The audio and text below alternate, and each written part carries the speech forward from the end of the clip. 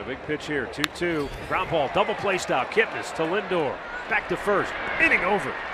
Shaw with a key. Ground ball, double play. And the Indians get out of trouble.